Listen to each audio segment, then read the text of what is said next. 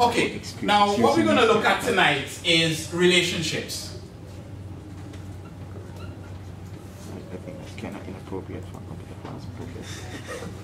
And having first discovered the entities, the second step now is determining what relationships exist between these entities. Because remember, um, we're dealing with the database and uh, the tables. And the, the data in the tables will be related to each other. Data in the entities will be related to each other. The question now is how is that information related? How is one entity related to the other? How is the data here related to the data over there?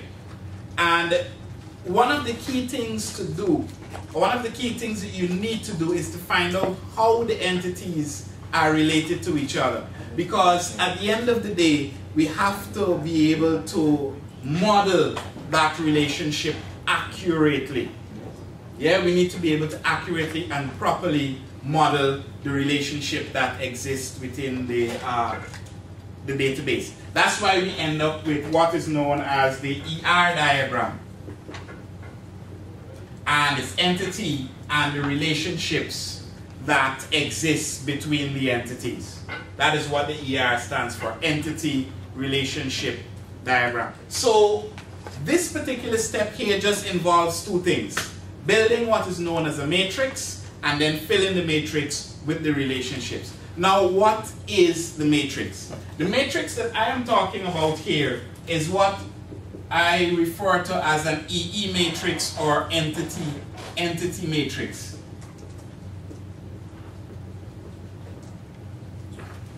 And the reason it's called an entity entity matrix is because it's a 2 by 2 matrix.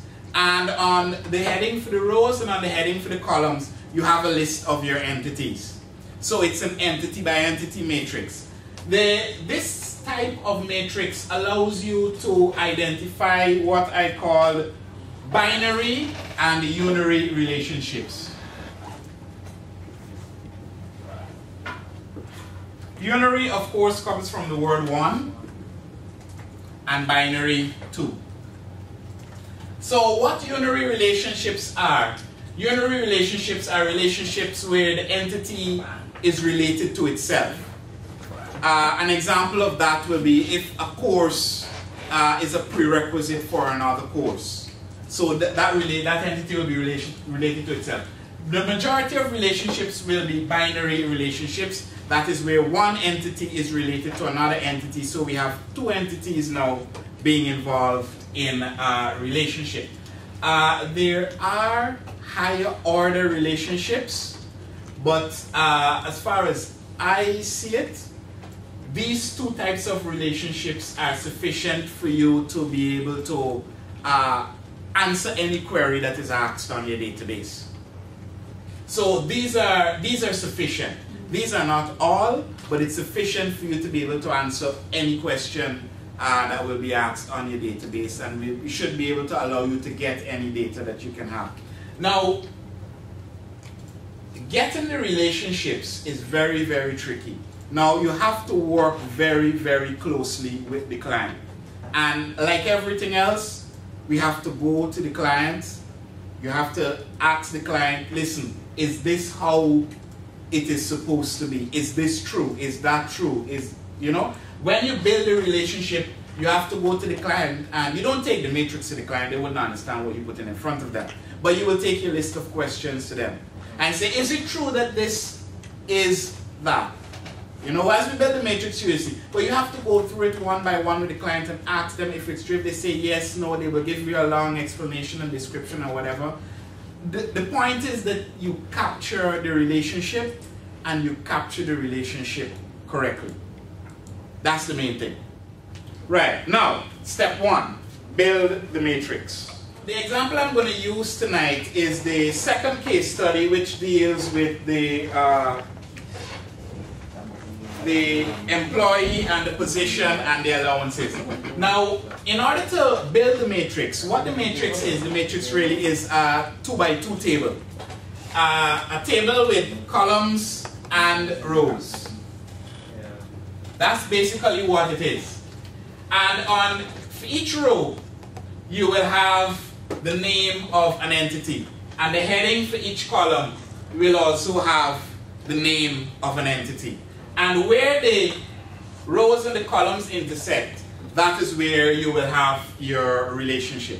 But this is what the matrix uh, starts off by being. So what you do is you take each entity and you list it as the heading for a column, for a row, and then you take each entity and you list it as the heading for a column. So let's do that.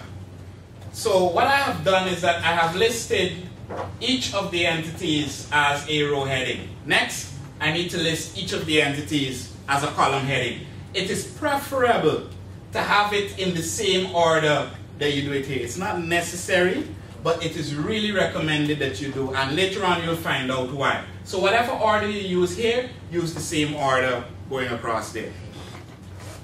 Okay, so we have the row headings, our entities. We have the column headings, our entities also.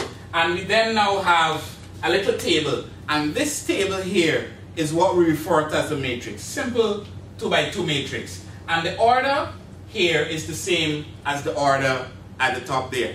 Now the process, this is step one of the, uh, the, the deriving process. Now this is just building the matrix. The second part now is to fill this in. And you fill this in with relationships. Now, whereas previously we had said that uh, entities are nouns, relationships are verbs. Now, the noun is usually the name of something. The relationship is a verb, meaning to do something. So in order to fill this in here, what we need to do is to go through each cell and ask ourselves, is the heading here related to the heading there? Or the other way around, is that related to that? And what relationship is there? If you can find a verb to put inside one of these, then a relationship exists. And the verb that you put in there, that is the relationship. Fair enough, let's go. Is employees related to employees? Now remember, you have to put yourself in the context of the problem. You are not designing the database for you, you're designing it for the client. Yes, you have to put the, yourself in the context of the problem, not whether or not it makes sense to you, but whether or not it makes sense to the client. Let's go. Employees related to employees. Yeah. Yes. How? Employees are employees. Verb, relationship. Are. Yes, no, No. No. no. No. Employees and positions. Yeah. Yes. How? Because Uh, employee have a, pos- a position. Sorry? Employees have position. They hold positions or fill. They fill positions. Employees and allowances. Yeah. On employees. On. They earn allowances. We'll leave that out for now. So if you actually look at it closely, this really doesn't belong here. The allowances also and the vehicles also. So I have a question. Mm. It can um, exist in two things at the same time. What do you mean? Like if I have it under across from um, employees attached there, Mhm. I can put it on in positions as well. Yes, you can have the same verb in two different cells, uh, and they would mean two totally different things. Yes, you can do that.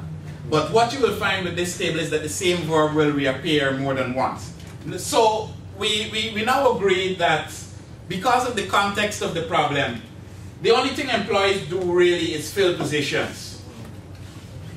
So that and that and that, we agree that because of the nature of things, that uh, there's no relationship.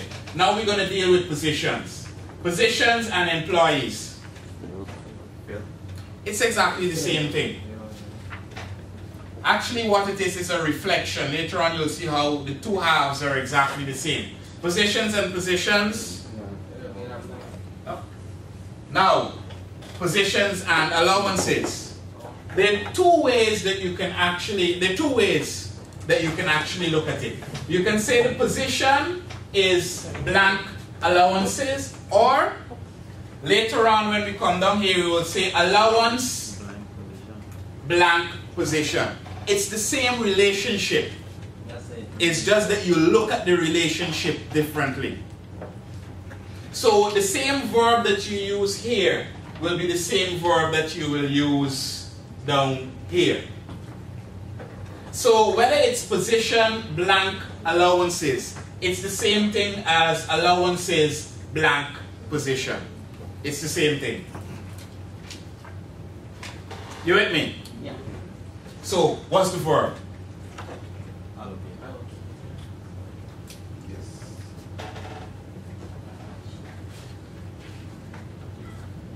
Position, salary scale. And that one there is more of the salary scale being attached to the position. Because a position will have several salary scales attached to it. True.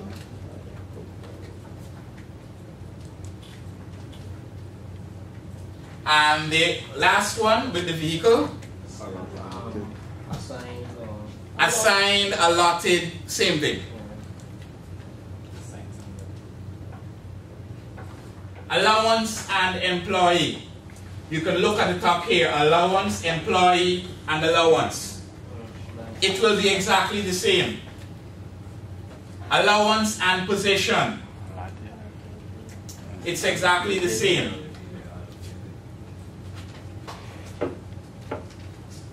Allowance is allowance related to allowance. In this case, no. Allowance and salary scale. The only thing I look Yes, no. No. And allowance and vehicle. No. at it, just position is based on what kind of Come down here, you will notice the same thing. Salary scale and employee, employee, salary scale. Exactly the same. Salary scale and position, position, salary scale. So we can write back the same thing. Salary scale and allowance, allowance and salary scale. Same thing here, same thing here. It just position basically the whole story. So basically what you're saying is right. I can now take these three and just, you notice that it's the same.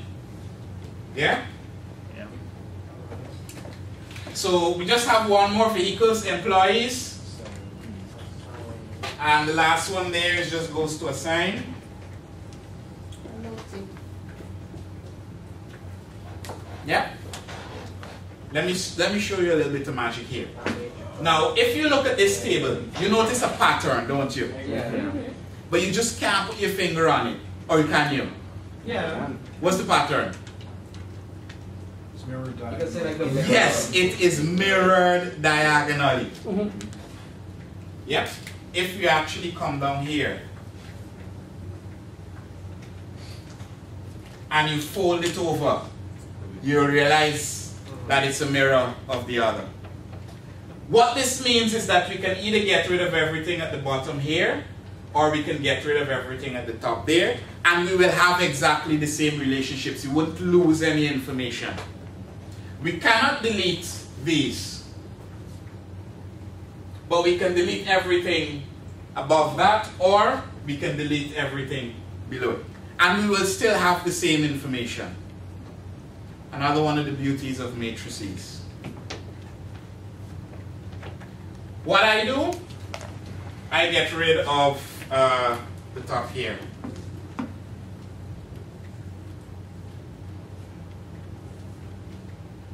So we end up with just the bottom half. So when we look at one, two, three, four, five entities, we end up with one, two, three, four relationships. Positions are related to employees, the fact that employees fill positions, or looking at it another way, positions are filled by employees. Allowances are allocated to positions, or positions are allocated allowances. Salary scales are attached to positions or positions have salary scales attached to them. Similarly with vehicles. Now what you need to do is to verify with the client that this is right. Mhm. Will it always be like this? in the- then- Always, always be a mirror image. So before you even fill it in, you can draw your diagonal down and only look at half. But remember, you can, you have to put in the ones involved because they can actually have relationships. I, actually, there is an example in the book with courses where a course, let's say this is course and that is course, a course is a prerequisite for a course. So you can have these what are called unary relationships. So uh, you need to keep these and you delete everything either above or everything below, but not including the diagonal. But it will always be a mirror image. Makes your work easy.